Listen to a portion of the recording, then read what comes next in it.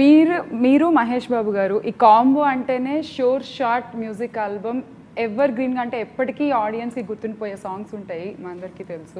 So and specially ఈ సినిమాలో ఆయన కోసమే songs రాసినట్టున్నాయి. He's so cute he's so hot he's so handsome అది కావచ్చు అండ్ సూర్యుడివో చంద్రుడివో అవ్వచ్చు అండ్ మైండ్ బ్లాక్ అవ్వచ్చు.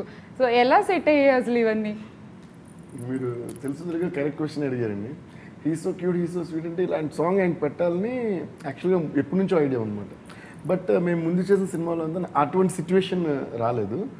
సో ఎందుకంటే ఆయనకే అది సెట్ అవుతుంది. అలాగా అంటే అందగాడు అనే ఆ క్రేజ్ ఉంది. కాబట్టి అలాంటిది ఒకటి హీరోయిన్ పాడి అలా సిచ్యువేషన్ కుదరాలి అన్ని కుదరాలి కదా.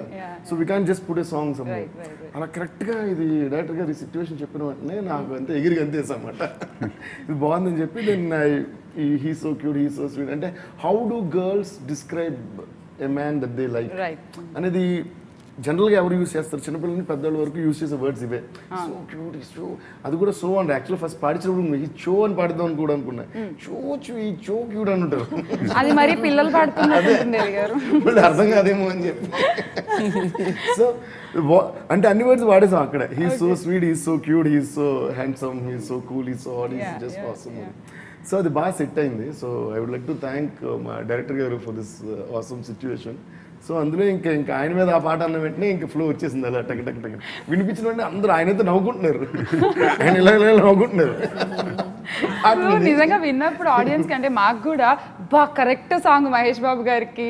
మా అందరికి కంపోజింగ్లో అయితే అనిల్ గారు డాన్స్ కూడా చేసి చూపించారు. సార్ గుర్తుంది సార్ మీకు? ఓహో super made him dance to that song అంటే యాక్చువల్గా మేము ఆల్బమ్ అనుకున్నప్పుడు ఆర్డర్లో సో మేము ఒక్కొక్క సాంగ్ ఒక్కొక్క దీంట్లో అనుకుంటాం. సో హీ సో క్యూట్కి మేము బాగుంటుంది పాట అంత పెద్ద రెస్పాన్స్ ఎంత వస్తుందో అని చిన్న ఒక దీంట్లో ఉన్నాం.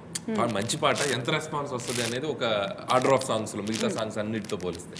రిలీజ్ అయితే ఆ సాంగ్ రష్మిక ఏదేదో మూవ్మెంట్ చేసి పెట్టింది. Thirty million still it's going strong. మొత్తం ఉంది పాట అసలు పిల్లలకి.